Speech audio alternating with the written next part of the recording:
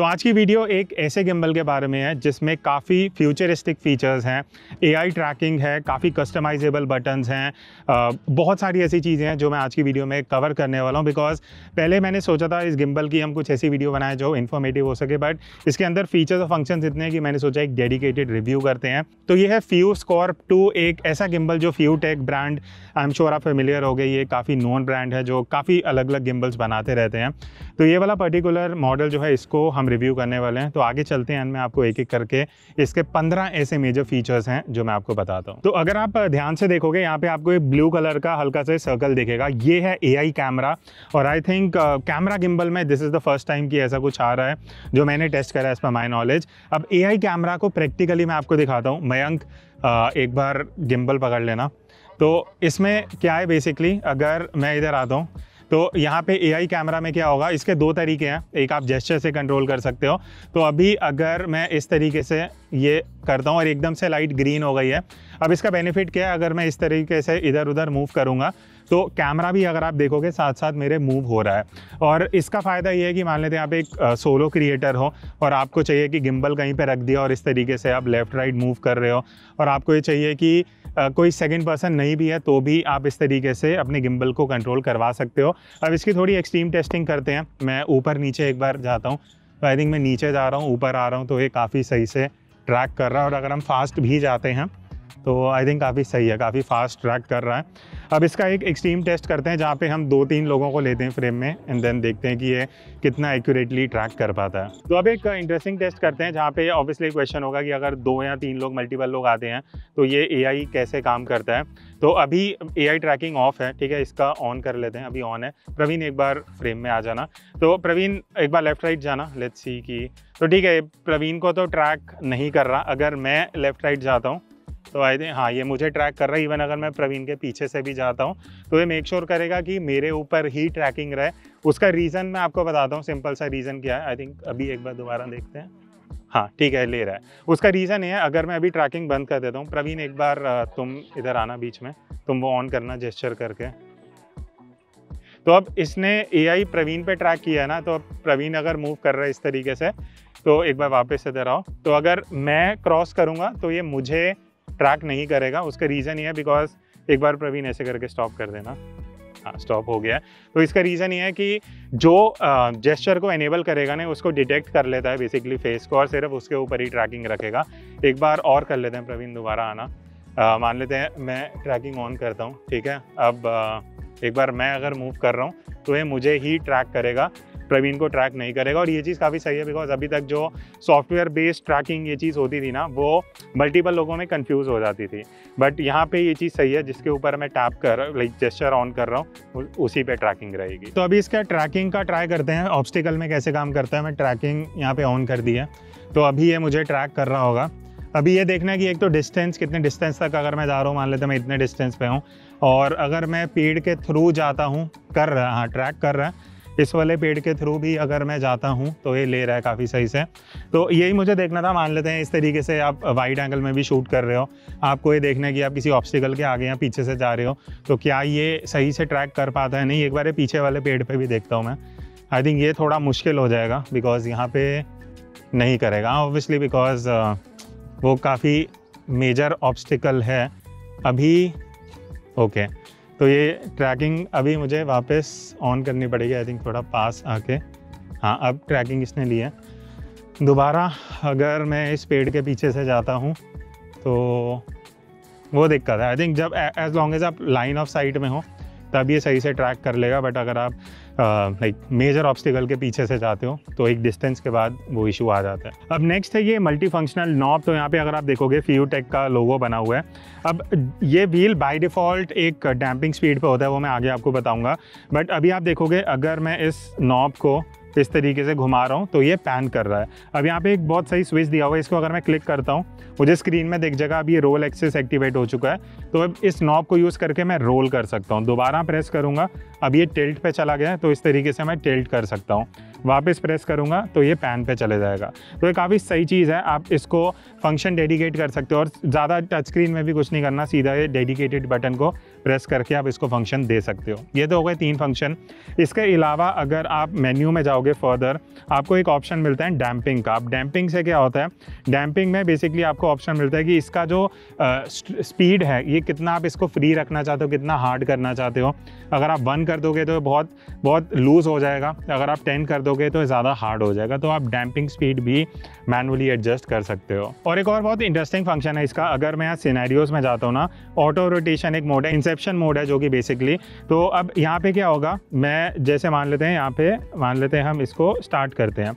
अब इस नॉब को ही यूज़ करके जितना मैं बढ़ाते जाऊँगा ना, आप ये देखो इसकी जो स्पीड है, वो अभी एकदम मैंने लेट सपोज़ हम इसको अनलिमिटेड कर देते हैं। अब अभी स्पीड मैंने इसकी मैक्सिमम कर दिया है। जितना मैं इसको पीछे को लाऊँगा तो ये क्लिक्स होते हैं, आपको सुनाई देगा क्लिप्स होते हैं, आप यू कैन फील दैट अभी ये एकदम मिनिमम है तो ये एकदम मिनिमम स्पीड में घूम रहा है। इसको मैं जितना इंक्रीज़ करते जाऊँगा, ये देखो, इसकी जो रोटेशन स्पीड है, वो उतनी बढ़ती जाएगी, और ये मैक्सिमम है। तो ये सारे कंट्रोल्स हैं, जो आपको इस जो नॉब है, उससे आप एडजस्ट कर सकते हो। अब अगर आप इस गिम्बल को ध्यान से देखोगे ना, ये जो ट्रेडिशनल गिम्बल होते हैं, उससे थोड़ा अलग है।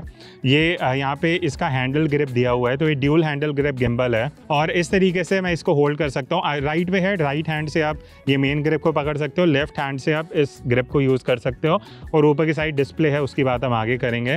तो ये हो गया आपका ड्यूल हैंडल ग्रिप जो बेसिकली जो वेट है ना पूरे गिम्बल और कैमरा के सेटअप का, वो डिवाइड कर देता है लेफ़्ट एंड राइट हैंड में, जिस वजह से आपका ऑल ओवर जो वेट डिस्ट्रीब्यूशन है, वो इवन हो जाता है और लाइक एंकल पे या हाथ पे उतना वेट नहीं आता। और डिज़ाइन में एक और काफ़ी कूल चीज़ मुझे लगी इस तरीके से ना, ये इसके जो दो लेग्स हैं, ये फोल्डेबल हैं और इसको मैं इस तरीके से, आप देखो यहाँ पे अगर बेंच पे भी रखता हूँ। तो ये एक बेसिकली पोर्टेबल ट्राईपॉड हो गया एक तरीके से। आपके गिम्बल में ही ट्राईपॉड भी है जिसको आप इस तरीके से रख सकते हो और जो मैंने ट्रैकिंग वगैरह ये सब दिखाया, आप एज अ सिंगल पर्सन भी single content creator video creator अब इस गिम्बल को एज अ ट्राईपॉड रख के भी शूट कर सकते हो। अब बात रही कैमरा को कनेक्ट करने की तो आपको दो ऑप्शन मिलते हैं। सबसे पहला है ब्लूटूथ का। तो कंपेटेबल कैमरा लिस्ट आपको वेबसाइट पर मिल जाएगी। हो सका तो मैं लिंक डिस्क्रिप्शन में दे दूँगा। तो अगर आप कंपेटेबल कैमरा यूज़ कर रहे हो, अभी मैंने कैनन आर सेवन ब्लूटूथ से कनेक्ट किया हुआ है। अब देखो, इस तरीके से अभी रिकॉर्ड करते हुए ही अगर मैं इसका ये रिकॉर्ड बटन प्रेस कर दूँगा तो अब वीडियो रिकॉर्ड एनेबल हो चुकी है। आप देख सकते हो वीडियो रिकॉर्डिंग ऑन है। वापस अगर मैं रिकॉर्ड का बटन दबाता हूँ रिकॉर्डिंग बंद हो जाएगी। तो ये वायरलेस कनेक्शन है, कोई वायर नहीं है, ब्लूटूथ से आप कनेक्ट करके।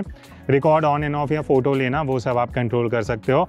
अब अगर आपको अपने कैमरा का aperture shutter speed I S change करना है तो आप वायर्ड कनेक्शन लगा के केबल लगा के इस तरीके से अपने डिस्प्ले से ही जो यहाँ पे आपको एलसीडी मिलता है यूज़ करके आप aperture shutter speed I manually adjust कर सकते हो। रियल टाइम आपके कैमरा में वो चीज़ें चेंज होंगी। तो आपको अलग से कैमरा में सेटिंग चेंज नहीं करनी पड़ेंगी। आप अपने गिम्बल के डिस्प्ले को ही यूज़ करके अपने aperture shutter speed I change करके, अगर एक्सपोजर चेंज होता है, वो चीज़ें आप रियल टाइम चेंज कर सकते हो। अब इस गिम्बल में अगर मैं मोड्स की बात करूँ मेजरली आपको पाँच मोड्स मिलते हैं। यहाँ पे अगर मैं टैप करूँगा इस तरीके से तो सबसे पहला है पीटीएफ जो कि है पैन टिल्ट फॉलो इसमें पैन भी एक्सिस काम करेगा टिल्ट एक्सिस भी काम करेगा।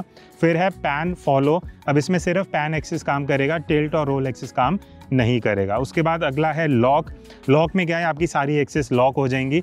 आपका गिम्बल एक ही जगह पे रहेगा और आप इस तरीके से कहीं भी गिम्बल को मूव करके सेम अपना जो एंगल है वो मेंटेन कर सकते हो।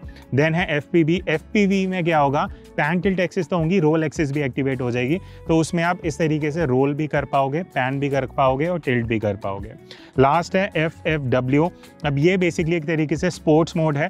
जितना आप फास्ट मूव करोगे, उतना फास्ट ही आपके साथ भी पैन टिल्ट करेगा। रोल एक्सेस भी इसमें एक्टिवेटेड रहता है। अब गिम्बल में एक चीज़ जो नॉर्मली मैं भी देखता हूँ कि टच स्क्रीन होना चाहिए और 1.3 इंच का आपको यहाँ टच स्क्रीन मिलता है। आप सारे फ़ंक्शन चेंज कर सकते हो। मोड चेंज करने हैं, इसको कैलिब्रेट करना है, इसकी स्ट्रेंथ एडजस्ट करनी है, कौन से सिनेरियो में जाना है, वो सारी चीज़ें ए टू जेड पूरी सेटिंग्स आप इसके डिस्प्ले से ही एडजस्ट कर सकते हो। इवन आपको बैटरी दिख जाएगा, जो इंपॉर्टेंट इंपॉर्टेंट आइकन है, सब आप इससे एक्सेस कर सकते हो। उसके अलावा प्रोग्रामेबल बटन्स भी हैं यहाँ पे काफ़ी सारे। F1 है F2 है, उसके बाद पावर का बटन है। देन यहाँ पे मैंने आपको स्विच बताया था जिससे आप ये व्हील के नॉब के फ़ंक्शन चेंज कर सकते हो। और ये FPV बटन को अगर मैं प्रेस करता हूँ तो इस तरीके से आप एफपीवी मोड को एनेबल एंड डिसेबल भी कर सकते हो। और F1 F2 के और भी काफ़ी फ़ंक्शंस हैं। सबसे पहले मैं बताता हूँ, अगर F1 को मैं डबल टैप करता हूँ तो इस तरीके से अब ये वर्टिकल या पोर्ट्रेट ओरिएंटेशन में आ गया है। तो मान लेते हैं, अगर आपको वर्टिकल वीडियो शूट करनी है तो इस तरीके से सेंटर करके आप वर्टिकल वीडियो अपने कैमरा से डायरेक्टली ही शूट कर सकते हो। वापस अगर मैं डबल टैप करूँगा तो ये नॉर्मल हॉरिजॉन्टल ओरिएंटेशन में आ जाएगा। और बटन्स की अगर मैं बात करूँ, सबसे कूल जो मुझे लगा वो है ए एंड बी के जो बटन हैं ट्रेजेक्ट्री मेमोरी बटन है। इससे क्या होता है, अगर आप एक पॉइंट पे गिम्बल को ले जाके ए बटन को लॉन्ग प्रेस करते हो, फिर दूसरे पॉइंट पे ले जाके बी को लॉन्ग प्रेस करते हो तो वो अपनी मेमोरी में सेव कर लेगा। अब जब मैं वापस ए बटन प्रेस करूँगा, जो ए पॉइंट था, जो ए पोजीशन थी, वहाँ पे गिम्बल आ जाएगा। फिर अगर मैं बी पे क्लिक करूँगा तो वो ए टू बी पॉइंट खुद मूव करेगा।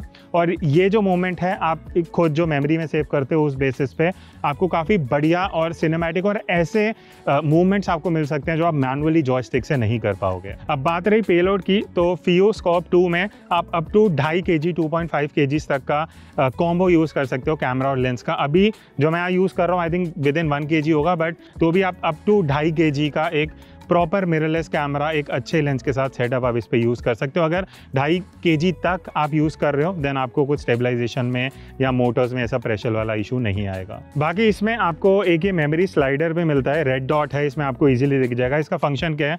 जब आप कैमरा निकालते हो गिम्बल को हटाते हो, फिर असेंबल करते हो तो ये मेमोरी पॉइंट आपको ध्यान दिलाएगा कि लास्ट टाइम आपने कहाँ पे बैलेंस करा था अपने गिम्बल को सो दैट आपको फिर मैनुअली एडजस्ट ना करना पड़े और उसी स्टेप से आप जल्दी रिज्यूम कर सकते हो। अब अगर अगर आप वर्टिकल वीडियो ज़्यादा शूट करते हो रील्स या क्लाइंट के लिए तो एक मेथड तो है जो मैंने आपको दिखाया F1 बटन को अगर मैं डबल टैप करता हूँ इस तरीके से, ये मेरा जो कैमरा है, ये वर्टिकल पोजीशन में आ जाएगा, इसको मैं इस तरीके से वर्टिकल वीडियोज़ के लिए यूज़ कर सकता हूँ। दूसरा तरीका है, अगर आप ज़्यादा हैवी सेटअप थोड़ा यूज़ कर रहे हो, दो के के आसपास का तो मैं सजेस्ट करूँगा इसकी अलग से सेपरेट प्लेट भी आती है जिसपे आप डायरेक्टली कैमरा लगा के इसको नेटिवली वर्टिकल कैमरा को वर्टिकल शूटिंग लिए यूज़ कर सकते हो। तो अब तो ये हो गए सारे फीचर्स फ़ंक्शंस अब एक काम करते हैं, इसका रियल वर्ल्ड टेस्टिंग करते हैं। कुछ यहाँ पे अलग अलग पाथ हैं, ऊपर नीचे कुछ डिफ़िकल्ट टेरेंस हैं तो कुछ सैंपल लेते हैं स्टेबलाइजेशन देखते हैं कि गिम्बल का जो मेन काम है स्टेबलाइजेशन वो कैसा परफॉर्म करता है।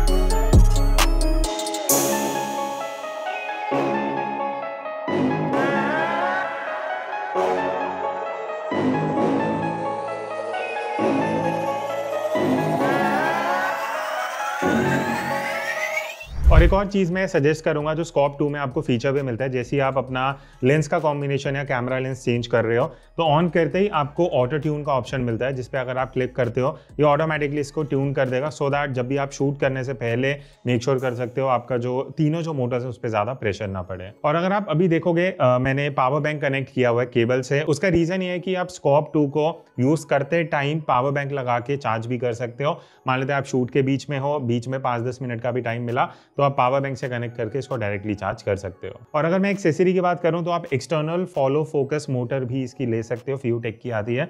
उसको आप स्कॉप टू से कनेक्ट करके यूज़ कर सकते हो। बट इंटरेस्टिंग पार्ट इसका यह है कि फ्यू स्कॉप करके एक ऐप है स्कॉप टू को कंट्रोल करने के लिए तो इस तरीके से इंटरफेस है। मैं आपको स्क्रीन रिकॉर्डिंग पे पूरा दिखा देता हूँ, कैसा है, क्या चल रहा है। तो जैसे ही आप कैमरा से कनेक्ट करते हो, आपको यहाँ पे सारे ऑप्शंस मिल जाएँगे। सबसे पहले जो आपका डिवाइस का नाम लिखा हुआ है, अगर मैं क्लिक करता हूँ, ये काफ़ी इंटरेस्टिंग सेक्शन है बिकॉज़ मैंने काफ़ी ऐप्स में ये चीज़ नहीं देखी है। सबसे पहले जॉयस्टिक है, इस तरीके से देखो। विदाउट लैग मैं जो भी मूवमेंट कर रहा हूँ, ये कर रहा है। लेफ़्ट राइट अप डाउन जो भी मुझे चाहिए।